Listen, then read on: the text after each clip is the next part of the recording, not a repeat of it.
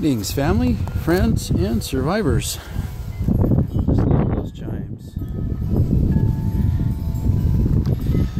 Well, I'm checking batteries today, and uh, the batteries that I bought were four of 14, and they went into service about May that year.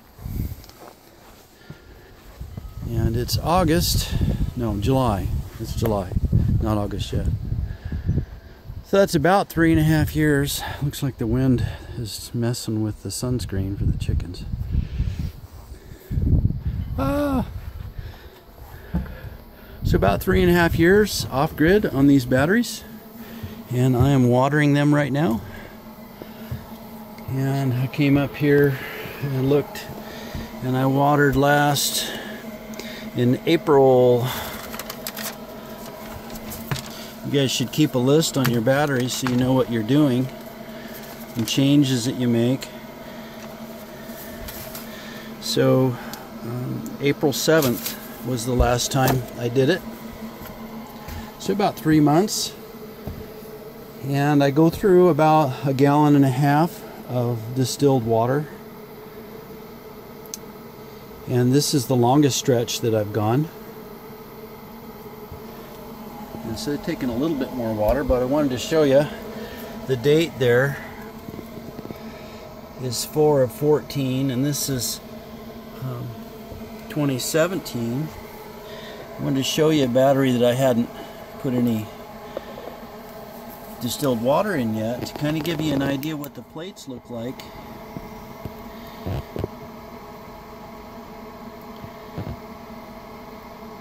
And every one of them looks exactly like that. Just clean like the day I bought them and I noticed today the reason why I'm making this video is that three and a half years off grid to have come on in focus.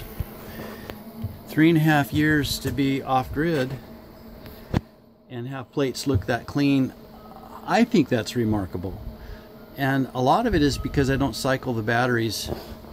Um, typically use the top 11%, but we've been actually taking them down to 84, so 16% of the battery, and we don't go lower than that, never have. And that's why the plates look new, because they just the batteries haven't done very much work at all. So three and a half years, and the, the plates look new.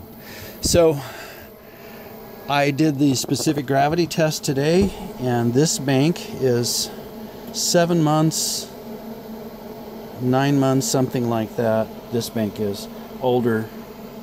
Excuse me, this bank is newer, seven months to nine months newer than that bank. So the specific gravity typically is uh, lower on the newer battery, and they don't know why. So what I'm saying is they're different. The back bank, the original bank, today was reading 1.30 and I'm shooting for 1.285 uh, on the specific gravity when they're fully charged. And so I got 1.30 on a couple of those and this bank was typical at 1.29. So I'm going to knock a half hour off my absorb time on this charge controller and see if I can bring this bank down to 1.28 and that bank down to 1.29 and just live with it. Because of my elevated float voltage, which is set at 28 about 28 volts, I think, for a 24 volt system. And it's holding float right now at 27.9, 27.9, and real 27.9, 28 volts. I think it's trying to hold it at uh, about 28. I forget what I set it at. That's elevated, but that's also helping keep the plates clean. And the only thing that it costs me is watering my batteries here as we can see every three months rather than every six months. And if I can make my batteries last many, many years longer by doing it the way we're doing it. It's worth it. Get up here every three months and put a gallon and a half of water in. Uh, every couple of weeks, I take a test at least once a month. I take a test on the specific gravity, a spot test, to make sure that my parameters are right. Now, the thing that folks don't typically understand about batteries is um, your parameters for your charge controllers are in a state of flux. But the, in other words, things are changing. As your batteries get older, their efficiency goes down. So our target efficiency for a brand new battery is 90%. When battery is about six years old, that might be 80%, depending on uh, the depth of discharge and you know how you run your batteries. So over time, you're going to have to make some adjustments on your charge controller, uh, considering the age of the batteries. Typically, it's messing with the absorb time, absorb time a little bit longer, or maybe uh, having your uh, return amp setting, or your your uh, yeah, your return amps. I think that's what they call it. So you've got two factors with these kinds of charge controllers. How many amps is your battery bank taking at a absorbed voltage when it's fully charged?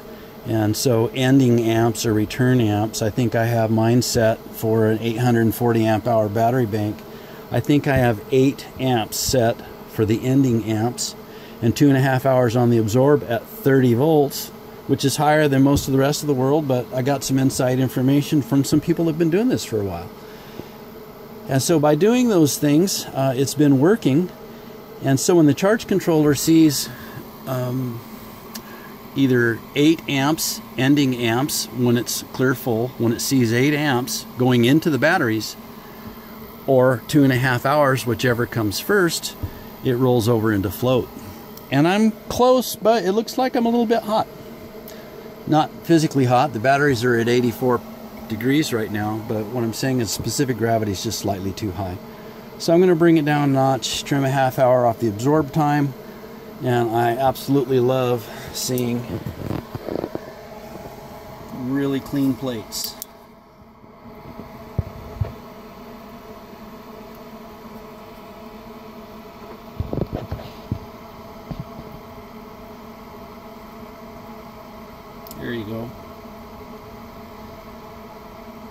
All right, just a brief battery report, and I hope you're all having a blessed day.